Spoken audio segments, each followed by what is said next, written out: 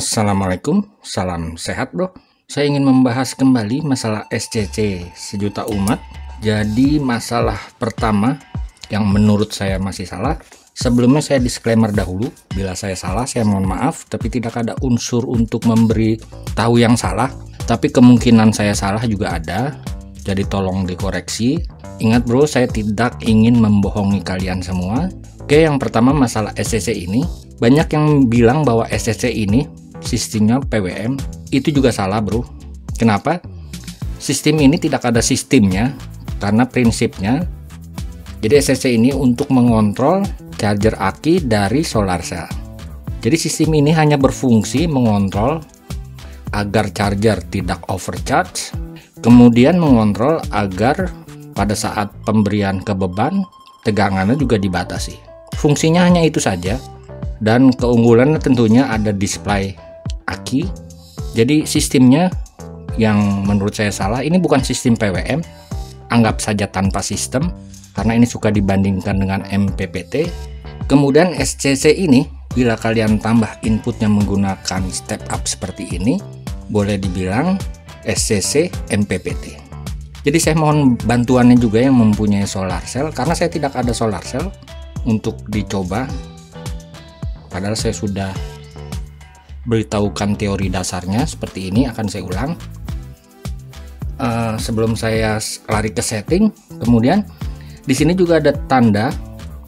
Jadi model-model seperti ini ini saya juga sudah beli beberapa macam. Tanda ini bukan menunjukkan sedang mencharger tapi menunjukkan tegangan dari solar cell atau input ke SCC minimum 8 volt. Jadi tidak ada indikator sedang mencharger, hanya menunjukkan bahwa solar cell sudah ada tegangannya minimum 8 volt. Di pasaran, ini yang sudah saya coba, ini. Jadi yang beda nanti spesifikasinya. Ini yang akan saya coba spesifik uh, tipenya W88 AB135 versi 1.0. Jadi kalian dalam setting ini jangan kalian perhatikan jenis baterainya, ini menurut saya ini kita kena prank yang kalian perhatikan adalah tegangan cut off ya. Bagaimana menentukan tegangan cut off nya ini sudah saya tes umpamanya B1 tegangan cut off nya yang kita bisa atur mulai tegangan 14,6 volt ini satuannya volt sampai 13,7 volt.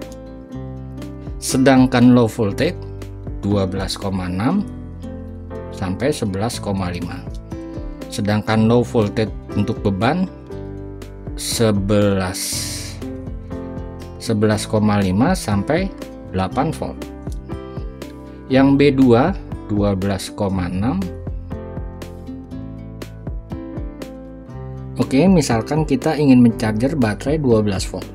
Tegangan cut off-nya 13,8 kalian perhatikan modul ini ada dioda pengamannya menggunakan dioda Schottky dari baterai ke modul. Jadi modul ini yang dibaca tegangan aki setelah melewati dioda Schottky. Ini tujuannya agar kalian bila masang baterai terbalik maka modul ini tidak menyala. Paham ya bro? Karena itu untuk men-set tegangan jadi misalkan kita men-set tegangan 13,8 cut off-nya karena ada dioda Schottky nya jadi kita kurangkan minimum 0,3 amannya 0,4 tapi masalahnya kalian perhatikan. Bila kita kurangkan tegangan 0,4 maka kita set 13,4 padahal tegangan cut off di sini 13,4 tidak ada range-nya. Jadi mau tidak mau kita harus men-set tegangan range tegangan cut off minimum yang ada. Yang ada itu yang mendekati 13,4 yaitu 13,7 jadi bisa kalian pilih B1 atau B3 ya bro. Jadi kalau kita set 13,7 maka nanti tegangan cut off sekitar 14 volt. Ini tidak apa-apa masih khusus untuk baterai. Jadi masih aman. Oke cara setnya jadi kita bisa pilih tegangan cut off di 13,7 yang ada B1 dan B3 kita pilih saja B1 caranya kalian perhatikan tekan ini sedih kalian pilih yang ada B nya saya tekan saya tekan saya tekan. Saya tekan ini B2 tekan sedikit lama sampai berkedip lalu pilih B1 seperti ini. Diamkan akan shift otomatis.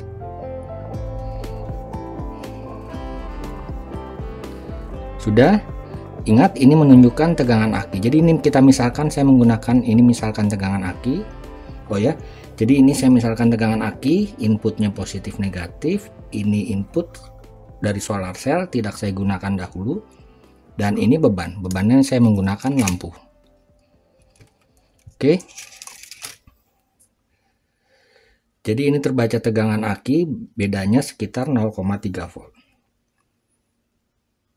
Kemudian kita set tegangan cut off-nya kita tekan ini tegangan cut off-nya tekan sedikit lama. Kita set 13,7 seperti ini. Diamkan akan save otomatis. Lalu kita ingin set low voltage. Low voltage ini maksudnya pada saat tegangan baterai full misal kita ingin set low voltage-nya 12,6 jadi pada saat tegangan baterai full di 13,7 maka solar cell akan berhenti mencharger sampai mencharger kembali pada saat tegangan aki 12,6 ini maksudnya low voltage. Cara settingnya kalian tekan ini pilih ini tegangan cut off ini tegangan low voltage. Kalian tekan sedikit lama kalian set 12,6 ini ini sudah 12,6 kita biarkan. Kemudian ini merupakan tegangan minimum beban masih bisa bekerja.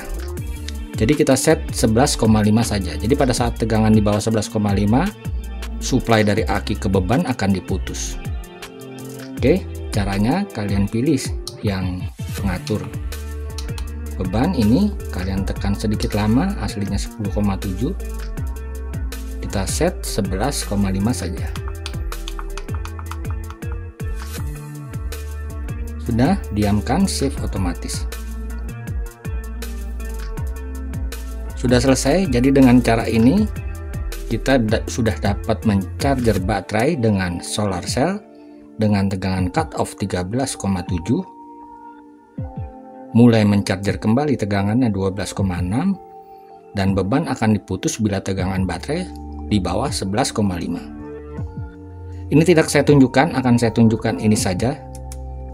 Oke kalian perhatikan tegangannya 12,6 beban saya coba nyalakan nyala.